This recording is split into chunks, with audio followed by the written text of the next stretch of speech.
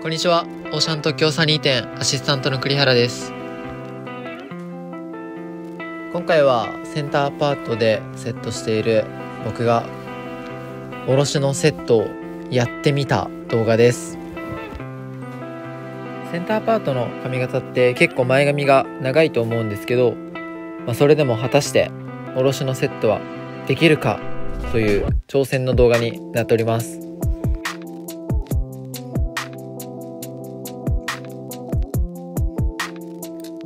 前髪は下ろして乾かしていきます。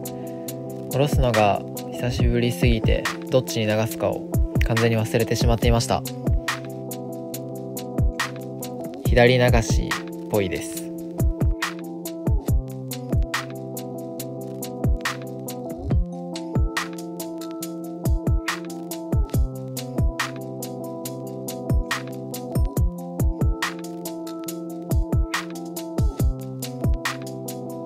今回は 19mm のコテを使っていきます。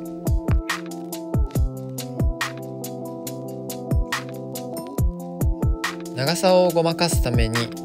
波打ちで全体に入れていくんですけど、まあ、1戦目は2波ぐらいで入れていきます。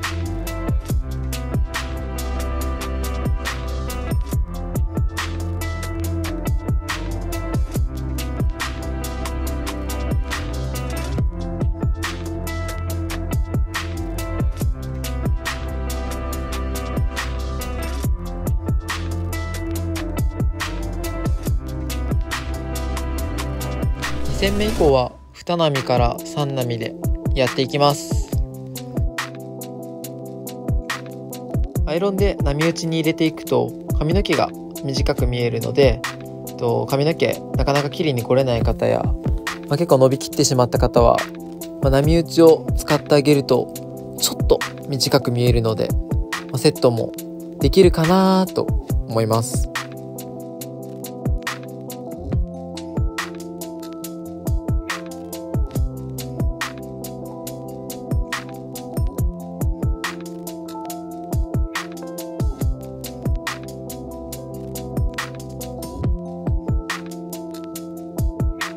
まあ、今回はやってみた系のゆるい動画になっているので、まあ、説明とかポイントとかはそんなにないんですけど、まあ、ゆるく適当に波打ちをどんどん入れていっています。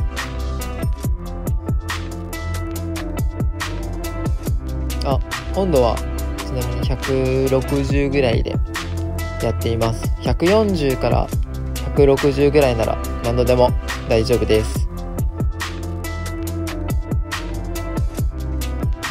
反対側は早送りにします。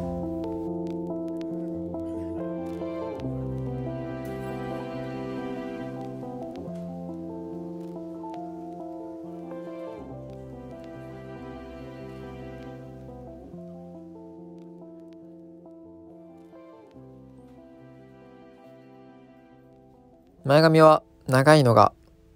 もろに出てしまうので、まあ、一回根元に内巻きを入れてちょっと上げます。そこからはランダムにカールを入れていきます。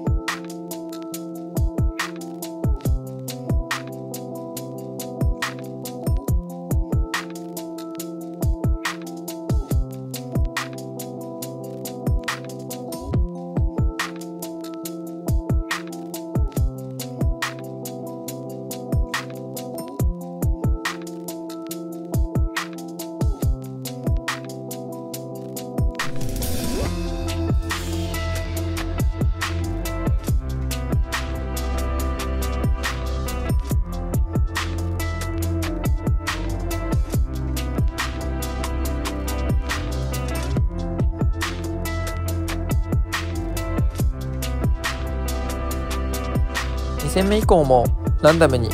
波打ちを入れていきます。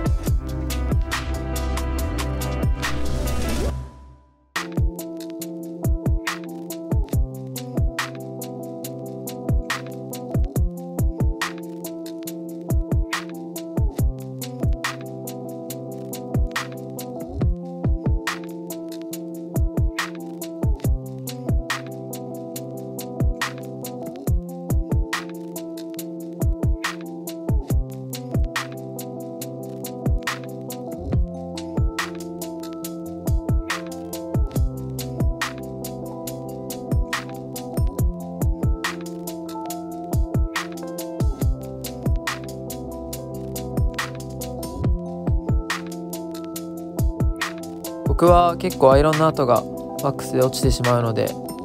思った倍ぐらいアイロン入れてます。ちょっとやりすぎちゃったなーぐらいでちょうどいいです。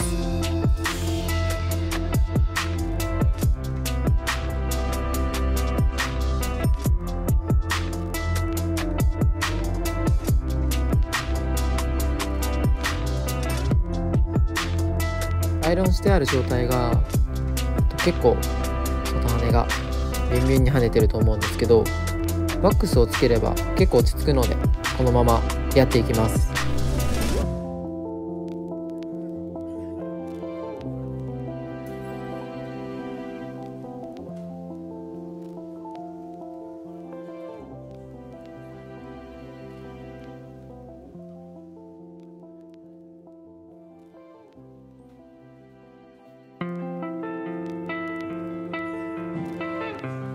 全体のアイロン作業が終わったら、まあ、少しボリュームや羽が足りないなと思うところにポイントで足していきますこのちょっと足りないなとかボリュームがないなっていうところとかがやっていくとでどれがそうなんだろうって分かんなくなると思うんですけど、まあ、結構大きく作っちゃっていいのでそれでワックスで落ち着かせるイメージでやっててください。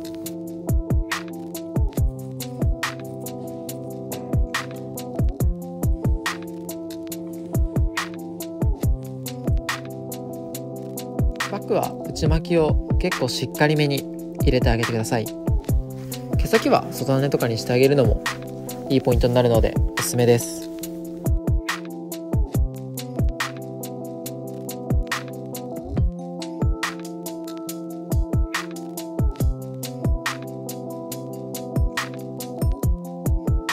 ワックスはエッジとナチュラルを使います。エッジが2でナチュラルが1ぐらいの量で使っていきます。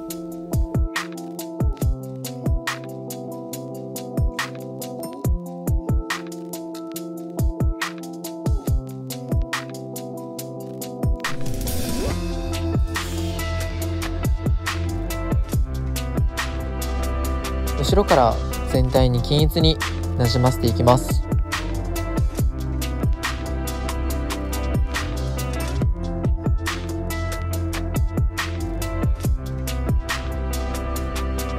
せっかくアイロンで作ったのにワックスをつける時に崩してしまってもったいないと思う方もいると思うんですけど、えっと、どんなセットの時も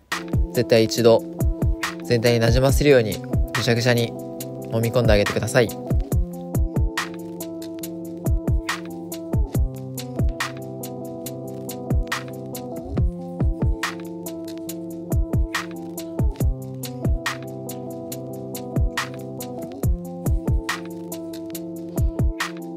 全体になじませ終わったら前髪から順番に振り下ろしていきます。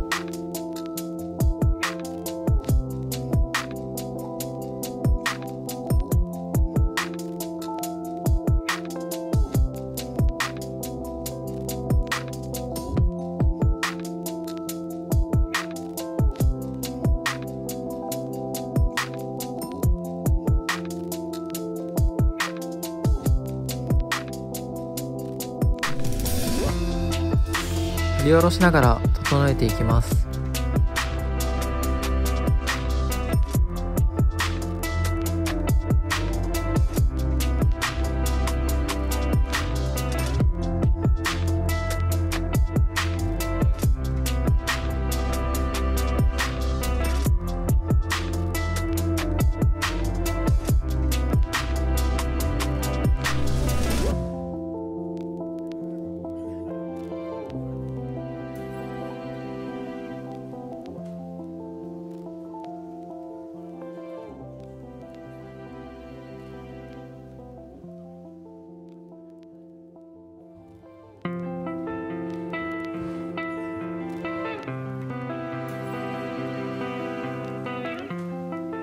全体のシルエットが整ったら完成です。